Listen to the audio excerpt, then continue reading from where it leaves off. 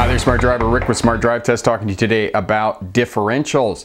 This video on differentials is both for passenger vehicles and for commercial vehicles. I had a comment from David Leifheit, and he had a big truck and left the differential lock on while driving at highway speeds, which is often not recommended, but he wanted to know if leaving the differential lock on and driving at highway speeds would cause damage to the unit because at the end of the day, when he did his post trip down there in Arizona, he discovered that some of the hub bolt nuts were broken off and basically at the inside of the tire there's a hub in the center that's filled with oil to lubricate the bearings on the big truck and it's got bolts on it and some of those bolts were broken off and he wanted to know if that was caused by him leaving the differential lock on and driving the vehicle at highway speeds because it's not recommended that you drive these vehicles at highway speeds when you have the diff lock on and it's unlikely that that damage was caused because he left the differential lock on. So what we're going to do today, we're going to give you a bit more information about differentials, what they do and how the differential lock works on big trucks. And as I said, the differential is usually the rear axle and it's the axle that provides power to the unit and moves it forward, whether it's a passenger vehicle, if it's rear wheel drive, or it's a big truck or a bus. So we're gonna give you a little bit more information about differentials, talk to you about that. Stick around, we'll be right back with that information.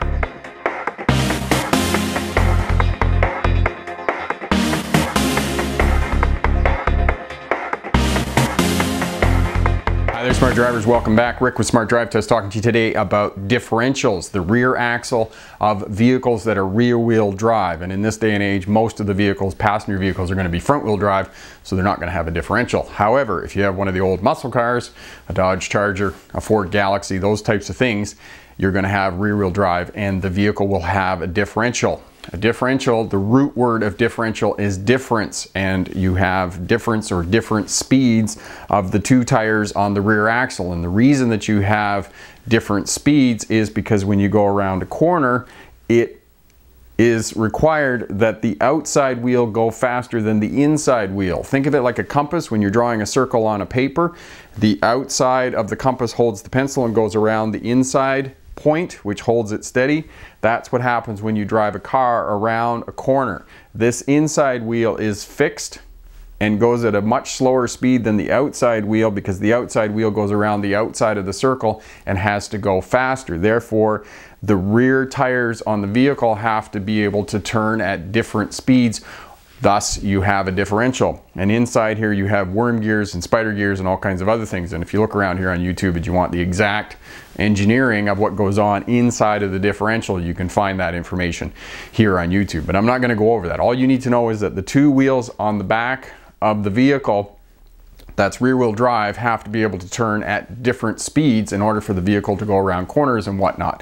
Now, because you have a differential and you have gears in here that will allow one wheel to sort of free play and the other wheel to go faster, what happens is, when you get stuck, oftentimes the differential will direct power out to the wheel with the least resistance. So therefore you're gonna get one wheel that spins. And there's another video on differentials here on the channel and I show you that on a big truck if you get one wheel elevated in a mud puddle and whatnot it'll just sit there and spin because the differential directs power out to the wheel with the least resistance.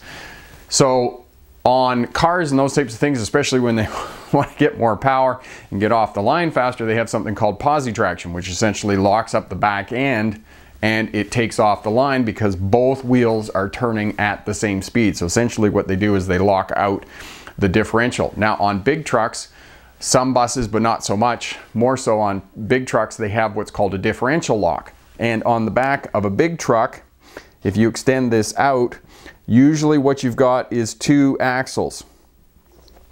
And you'll have a set of tandem axles here, and you'll have a diff on both axles. And essentially what you have on most trucks it's uncommon that you'll have a diff lock on both of these. On most trucks, you'll have a single diff lock and it'll lock out the front axle. Thus, for those of you chaining up in the wintertime, that's why they often recommend that you put the chains on the front axle because that's where the diff lock is and you put a chain on each wheel and therefore both wheels will grind away and move the vehicle forward over the ice and snow or whichever or mud or whatever compromised traction conditions you're in.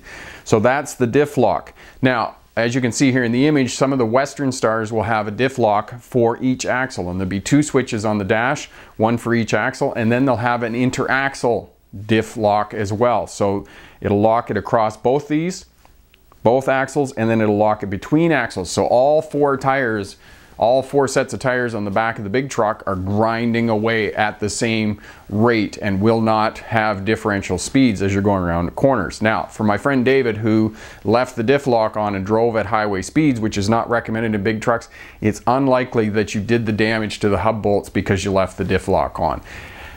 Unless you're uh, going around sharp corners and on concrete and asphalt and those types of things, it's really unlikely in one-off event that you're going to do any damage to the hub bolts on the back of the axles and those types of things.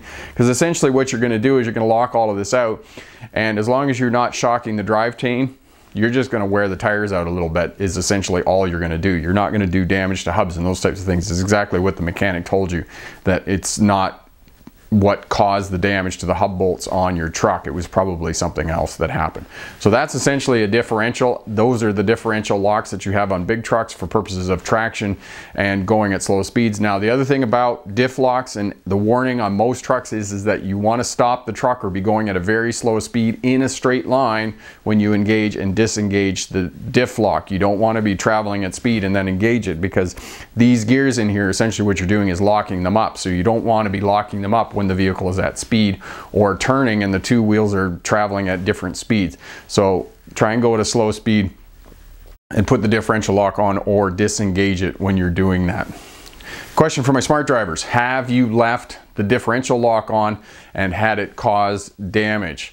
Leave a comment down in the comment section there. All that helps out the new drivers coming into the industry and starting a career as a truck or bus driver. I'm Rick with Smart Drive Test. Thanks very much for watching. If you like what you see here, share, subscribe, leave a comment down in the comment section. As well, hit that thumbs up button. Check out all the videos here on the channel if you're working towards a license or starting a career as a truck or bus driver. Lots of great information here. As well, head over to our website, good information over there, and great online courses that you can purchase. Thanks again for watching. Good luck on your license, and remember, pick the best answer, not necessarily the right answer. Have a great day. Bye now. So there's a duck and a goose, and the duck says to the goose, do you differential? And the goose says, differential? Do I? Diff, diff, diff, diff, diff, diff, diff, diff, diff, diff. Differential. And that's the story of the duck, the goose, the differential.